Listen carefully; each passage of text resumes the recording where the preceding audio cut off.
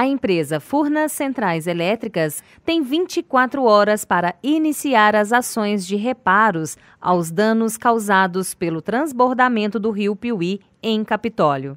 A determinação judicial ocorreu mediante a uma ação do Ministério Público, com apoio do Instituto Mineiro de Gestão das Águas.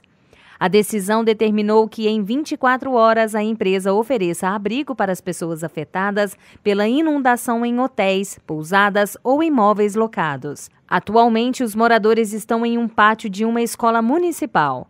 A decisão também determina que Furnas arque com a alimentação, objetos de higiene pessoal e medicamentos de cada indivíduo e família. O descumprimento da medida acarretará no pagamento de multa diária de 5 mil reais.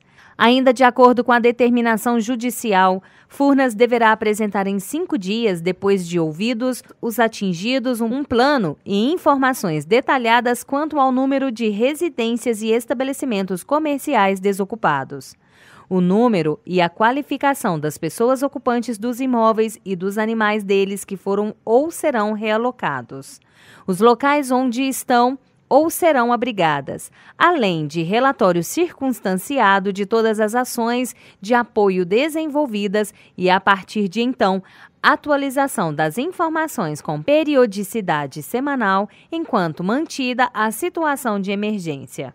Segundo o MP, as obrigações sob pena de multa visam responsabilizar a Furnas por medidas emergenciais específicas necessárias para dar suporte a todas as pessoas afetadas.